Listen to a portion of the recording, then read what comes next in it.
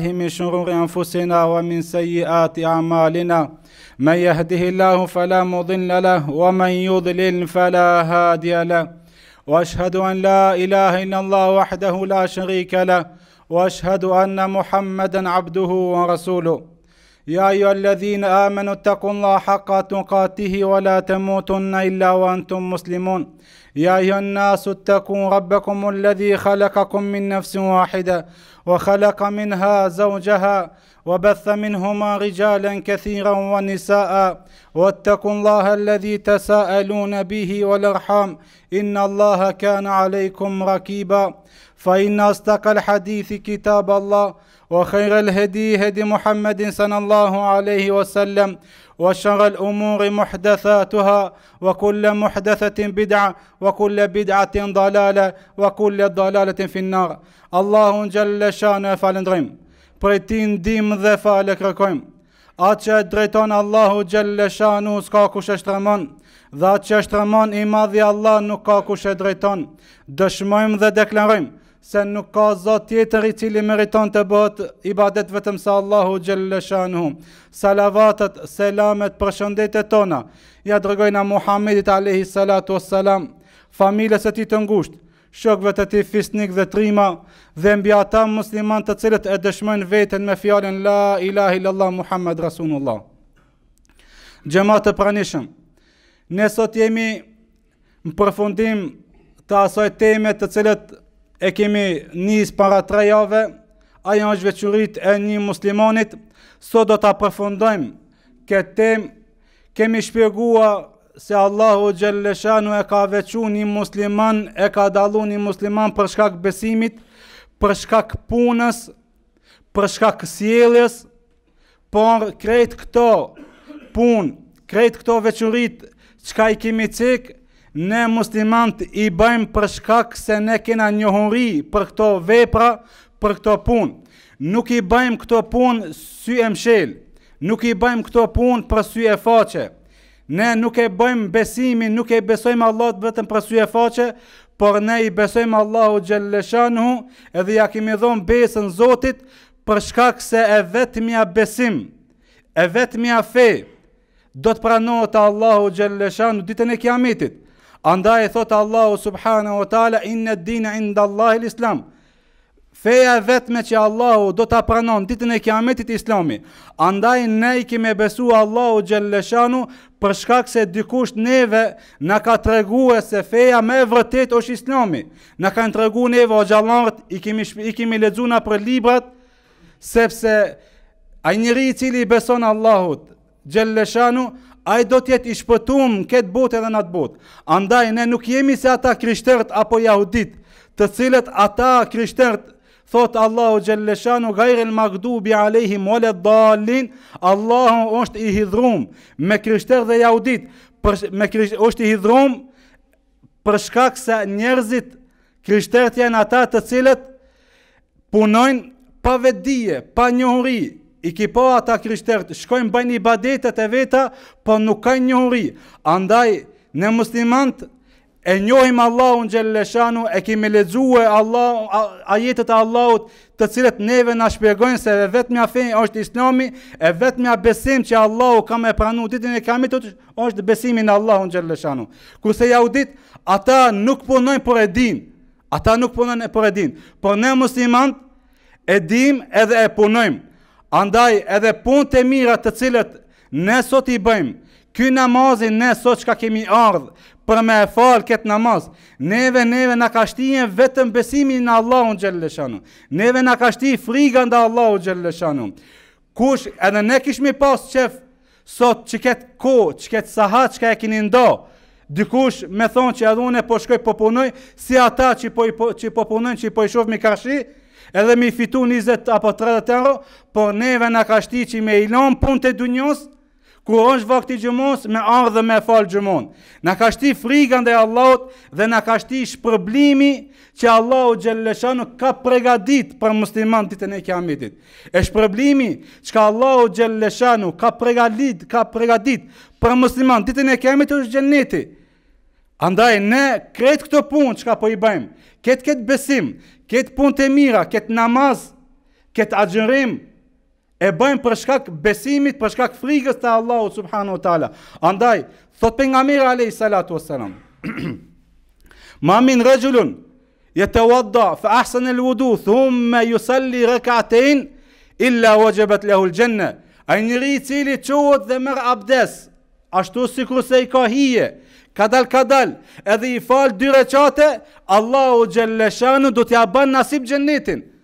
Andaj ky është shpërblimi çka pejgamberi alejhi salatu ue selam neve na ka tregu nëpër hadithe na shti neve me punu punë të mira.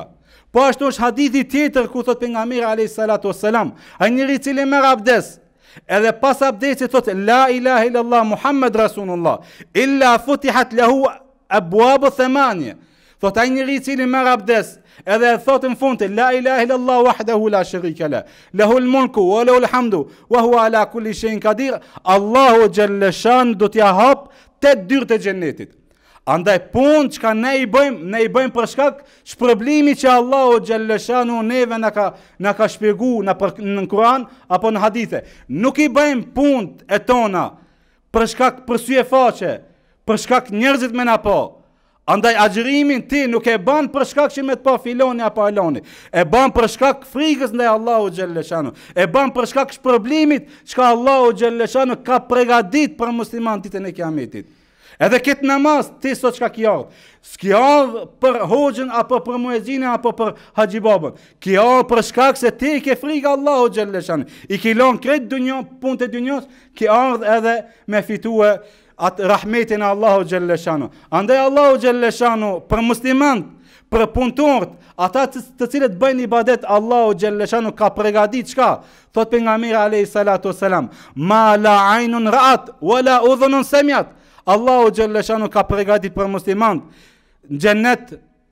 e cila e ka emrin vendin xhennet ose në xhenem, për ata që nuk punojnë, për ata që punojnë është xhenneti. Thot pejgamberi alayhi salatu wasalam, në xhennet ka syri çka s'ka pa. S'ka mundësi ti me e pa. Në këtë botë çka ka përgadit Allahu xhallashanu për musliman, as veshi nuk të ka shku ndërmend çka ka përgadit Allahu për muslimant, për punëtorët, as mendja nuk të ka shku ndërmend për ata njerëz të cilët e kanë falë namazin. Andaj, ne thojmë elhamdulillah që Allahu xhel-le shanuhu, nuk e ka lon xhenetin në dorën e insanit. Ta kish lon në dorën e insanit xhenetin, ndoshta ne ishmi kon shumë larg, po elhamdulillah Allahut që e ka lon xhenetin në dorën e tij. Sepse një rahmet Allahu xhel-le shanuhu, E ka lshue në këtë botë, kurse nantdhetenantë i kanë rujt për musliman ditën e kiametit. Allahi na baftë nasip xhenetin. Por, duhet me ditë edhe një sent, edhe një punë. Krejt këto veç, veçoritë, krejt këto punët, çka ne i cekëm, krejt këto dallimet çka Allahu të ka dallu ty, si musliman, a thu vallë mjafton me kaq, Me thonë, une, elhamdulillah i besoj Allahut, une e fali namazin, une e agjëroj Ramazanin edhe me kaq, e jo vallahi.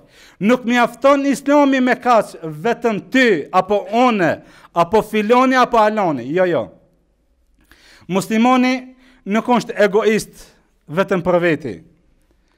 Se të kish konë ky islam vetëm une, pejgamberi alejhi salatu ue selam, s'kish pas nevojë me na thirrën neve njerëzive që me i besu Allahu xhel-le shanuhu.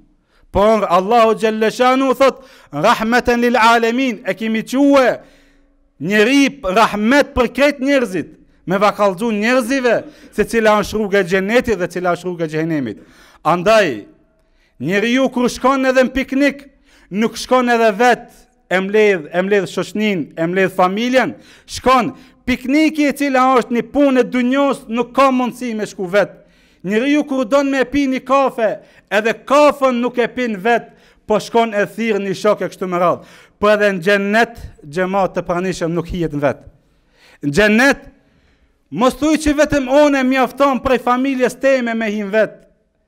Jo, jo, por mundohu, atë dije çka e kije ti, atë njohuri çka e kije ndaj Allahu xhel-le shanuhu, mundohu fillimisht me ia tregu grues tonde, familjes tënde, sepse ajo është direk i shpisë, ajo është e cila ka me i, ka me i eduku fmijt e tu, mundohu qatë namaz Ti çka e din për obligim, mundohu edhe grus tënde me ia shpjegu.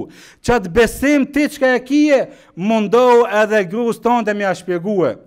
Mos thuj be hoxh unë i thashë një herë, dy herë, m'u mbyll gruaja ime po s'më ngon. Jo jo, nuk shkon puna me njëherë apo dy apo tre, ti kur po do një kafe me e pi, kur je i lodht edhe kthehesh te shpia për me e pi një kafe, a thu vallë i thu grus tonde që oj grue, oj fisnike një kafe, po e ndoshta nuk nin, ndoshta s'e ka marrë me seriozitet, se ti e ki pas zanat me pi kafe jashtë, Edhe ti kur i thu ni kafe nuk ta merr atë fjalën përnime. Duhesh me i thonë dy herë, tre herë apo pesë herë për me ta ndreq një kafe. Kjo është realiteti jonë çka çka s'mujna me mohu. Por e çka mendon ti për në dynja? A vallë vetëm me një herë me i thonë grus, çu dhe duhesh me u mbulu sepse ajo grua e cila nuk ka mbulesë për atë është zjarmi i xhehenemit, ajo grua e cila nuk falet, për atë është xhehenemi. Andaj të mirën ti mundohu, duhesh me u mundu që këto, që këtë besim, ti çka e ki, duhesh me duhesh me i thirrë fillimisht duhesh me e thirrë grun, duhesh me ia mësu namazin evladit tand, mos me e lon udhës, se vallahi dhe billahi, po baj be në Allahun xhele shanuhu.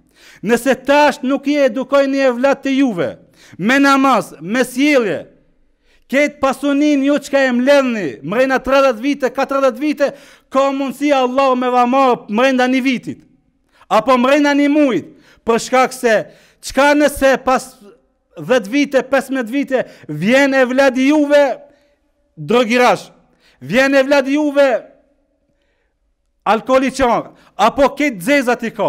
Ti pastaj duhesh, duhesh me e çu te filan hoxha, apo duhesh me ia ndrru ndoshta gjakun, apo kështu. Krejt pasuninë ti çka e fiton, ka mundësi pastaj Allahu me ta marrë mrena një muj.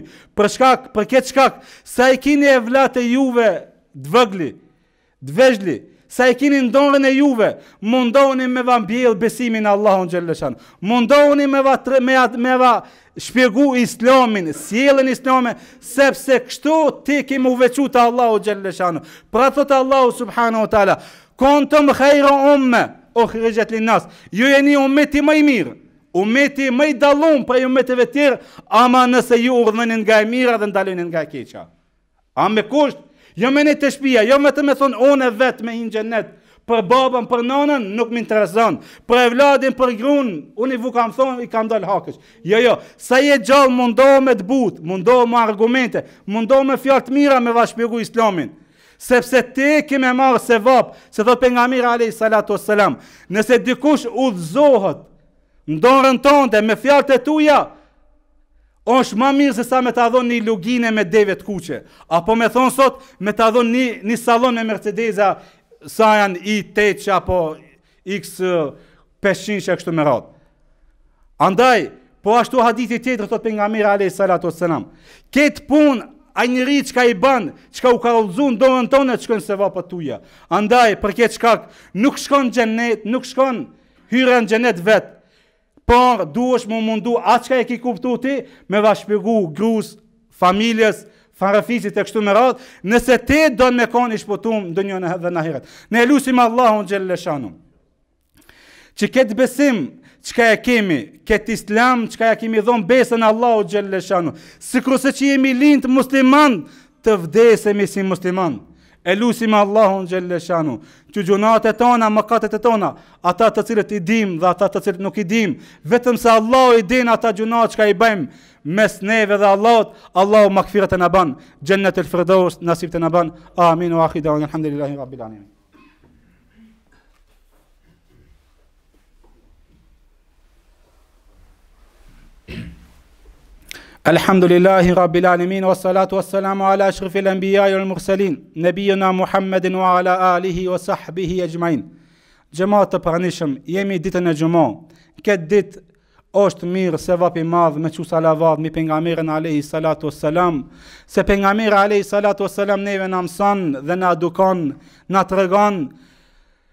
Dhe na thot ai cili çon salavat një herë Allahu dhe melaqet, të cilët vetëm Allahu e din sa melaqe ka në këtë botë dhe në qiell, çojnë mbi atë musliman 10 herë. Andaj ne çojmë salavat duke thon Allahumma salli ala Muhammedin wa ala ali Muhammed, kama sallaita ala Ibrahim wa ala ali Ibrahim innaka Hamidum Majid.